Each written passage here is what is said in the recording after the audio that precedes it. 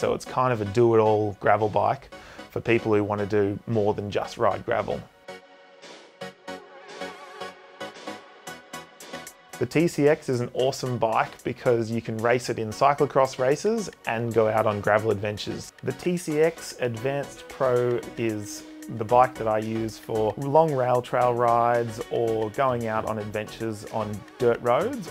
So I chose to use the TCX on the Great Victorian Rail Trail because it is super smooth on gravel and it's just really good for long distances. I feel comfortable on the bike, it's got good gear and it's really lightweight. We rode in Tumbarumba on the rail trail and we also rode in Mitta Mitta and the TCX was perfect for this type of riding because it's just like the ultimate gravel bike.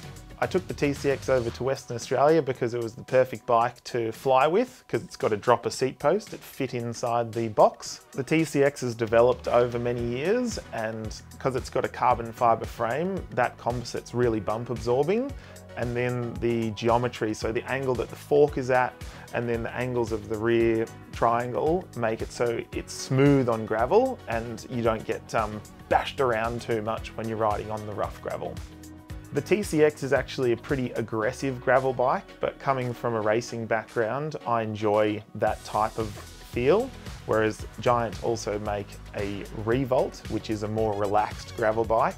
You would buy a TCX if you want to race cyclocross and ride gravel, so it does kind of both of those things, and it's really good at both.